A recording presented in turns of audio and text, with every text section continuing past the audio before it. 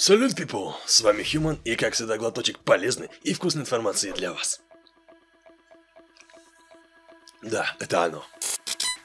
Ну что, друзья, сегодня мы с вами наконец-то взглянем на внутренности RTX 3090 Ti, новенькой и топовой. Ну и не обойдем стороной 4090, потому что там есть что с чем сравнить. Ну а под конец мы с вами поговорим о том, как Intel уже сейчас обделывается со своими видеокартами, что мне очень не нравится. И, естественно, пару слов о Starlink, как он начал работать в Украине. Погнали! Ну что, друзья, в свежевыжатом отчете от MyDrivers, это наши восточные коллеги в сфере IT, уже продемонстрировали RTX 4090, которая стоит, ну, ни много ни мало 1900 долларов. И я напоминаю, что это на 400 баксов больше, чем в той же RTX 3090. Да, естественно, если мы смотрим все в контексте розничных рекомендованных цен. Но при этом сама мощность в виде производительности должна быть в два раза выше. А в контексте трассировки лучей так и то в 3. Если мы с вами допускаем, что корреляция по цене будет именно такая, то есть розничная цена в 1900 баксов и 1500 в сравнении с RTX 3090, то тут логический вопрос.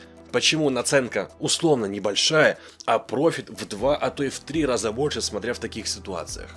Хм. Ну, на самом деле все очень просто. Во-первых, общая логистическая поставка уже налажена. Налажены в частности транспортировка графических процессоров, ну и, собственно, ценники снижаются. И снижаются, кстати, и по этим же причинам. Не верится, да? Понимаю. Но как раз таки из-за этой причины я вам и рекомендую посмотреть предыдущий видос, который мы недавно выпустили. Там объясняется, разжевывается все от А до Я, почему возникли такие причины понижения цен. И почему дефицита никогда не было. Более того, если мы еще с вами учтем более высокий ценник за пластины от TSMC, где будет работа на 5 нанометров, Плюс вспомним, что у нас с вами GDDR6X, это тоже не дешевое производство, то в принципе наценка, даже если мы говорим за RC, для high-end, для топовой видеокарточки, ну не такая уж и большая. Ну блин, ну вспомните, что RTX 3090 на старте был полторы тысячи долларов. Ну, вопрос здесь, конечно, может стать еще и в энергопотреблении, который, которое не маленькое. Но в то же время здесь опять же будет использоваться более, скажем так, лучшее качество, говоря простым языком, улучшенное более количество VRM. Ну и, естественно, остальные компоненты. Я думаю, вы смысл поняли, одно за собой тянет другое, и тем не менее ценник даже при этих условиях, ну, на старте неплох. Напоминаю, для high-end карты нового поколения. А ваше же личное внимание я не буду заострять на спецификациях, ну, мы и так уже ранее их, в принципе, обсуждали, да и плюс будем итожить, я, скорее всего, думаю, когда будет либо официальное заявление от NVIDIA непосредственно за RTX 4090 и другие видеокарты AD Lovelace, ну или уже когда она выйдет. Но есть очень важный момент, чтобы просто ориентировались и понимали разницу. Вот смотрите, в той же RTX 3090 у нас с вами 10496 шейдеров, в то время как в 4090 будет 18432 ядер FP32. Разница не маленькая. Так что нам с вами остается ждать вторую половину этого 2022 года, и тогда мы уже наконец увидим эти видеокарты. Насколько я знаю, анонс в сентябре, а релиз уже в октябре и так далее. Друзья, вы должны понимать, что в один сюжет все новости не втиснуть, но это будет очень и очень емко и долго, и тогда видео на ежедневной основе не получится. А я пытаюсь брать самые, ну скажем так, интересные, важные за день, за сутки двое.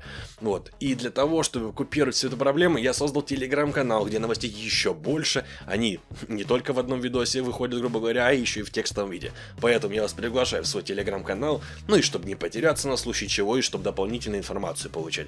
Жду всех милости прошу. Но все же я не могу обойти стороной RTX 3090 Ti, когда наши же коллеги с IT-пространства залезли под ее юбку и посмотрели, что же там внутри. А там оказалось 28 фаз и 2 12-контактных разъема питания. Итак, перед вашим взором открывается истинный облик видеокарты Galaxy GeForce RTX 3090 Ti Hall of Fame. И, к слову, это серия видеокарт высшего уровня. И в итоге мы видим, что карта оснащена объединенными графическими процессорами и специальными печатными платами платами. Да, эти видеокарточки предназначены для экстремального разгона. В итоге видеокарточка оснащена двумя 12-контактными разъемами питания ATX 3.0. И да, каждый из них способен выдать до 600 Вт. И насколько мне известно, данная видеокарточка поставляется с максимальным пределом мощности в 516 Вт. Но, поскольку особенно эта high-end карточка high-top, я даже сказал, она имеет смысл разгона и потенциал для него, то явно можно будет приступить через этот порог и лимит ограничения во мощности. В итоге у нас с вами на борту VRM-24 плюс 4, и все это добро, естественно, будет поставляться с водоблоком, но не с воздухом. Но это и не удивительно, учитывая, сколько видеокарта жрет мощности. Плюс сюда припишем с вами 24 гигабайта GDDR6X, полевые моб-транзисторы. В общем, я думаю, причина отказа охлада от воздуха вам понятна. Ну и опираясь на уже названную RRC, которую мы обсуждали ранее, плюс high-end и high-top этой видеокарточки, то я думаю, что, ну, по 3000 долларов она явно будет стоить. И я полагаю, что оверклокеры, что энтузиасты и железные извращенцы уже положили свой взгляд на эту красотку. Ну и явно не за горами новые оверклокерские рекорды.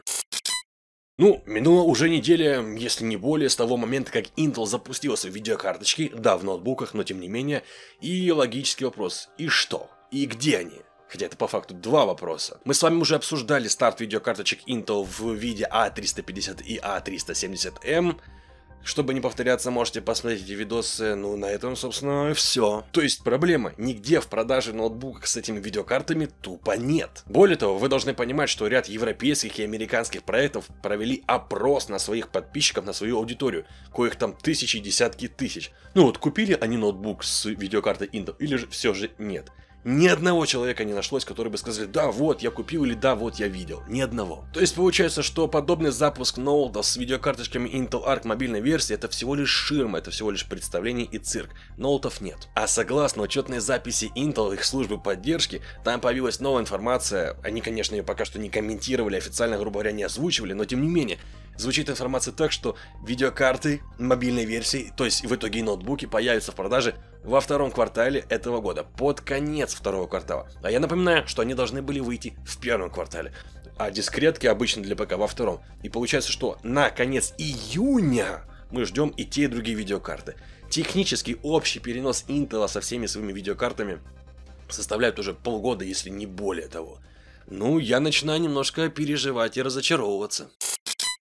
И крайняя новость на сегодня. Э, для начала, для понимания, агентство США по международному развитию – это независимое агентство федерального правительства США, и оно отвечает за новейшую помощь штатов другим странам. И вот оно подтвердило, что с начала войны Украина получила 5000 терминалов для спутникового интернета Starlink. А я напомню, что еще в начале марта премьер-министр Денис Шмигаль рассказал, что Украина рассчитывает получить до 5000 терминалов Starlink. И где, кстати, три четверти, то есть 3000 667 единиц, общей стоимостью, кстати, в 10 миллионов долларов. Это безвозмездная помощь от американской компании SpaceX Илона Маска, которая также бесплатно предоставляет саму услугу спутникового интернета. Чтобы понимали, стандартная абонементская плата за услугу 99 долларов в месяц. А покупку и передачи еще 1333 терминалов Starlink профинансировало правительство США. Сейчас же терминалы Starlink они обеспечивают высокоскоростной интернет в городах по всей Украине, и скорость на примерно 150 мегабит в секунду, в том числе и в регионах, которые подверглись катастрофическим разрушениям в результате авиаударов и обстрелов. И кроме ВСУ и медицинских учреждений, преимущественно спутникового интернета Starlink пользуются органы местного самоуправления, а также уже и Укрзалезница, Ланет и Приватбанк. И вот уже в конце марта регуляторные органы, они нормировали использование интернета Starlink мобильными операторами. В итоге украинский оператор Vodafone использует Starlink для восстановления связи в Романовке и Ирпене. Это, кстати, первый случай в Украине, да собственно один из первых в мире, когда работа сети мобильного оператора развертывается через спутниковую связь. А на днях таким же образом была подключена базовая станция в селе Пляхтянка Киевской области. И вот накануне Минцифра рассказала о планах после победы построить в Украине собственную наземную станцию Starlink. И это хорошо, потому что позволит существенно улучшить качество спутникового интернета SpaceX для рядовых украинцев. Ну потому что сейчас сигнал идет через станции в Польше, Литве и Турции. Ну а на сегодня, ребятки, у меня для вас все. С вами как всегда был Human и как всегда, кайфовой вам игры.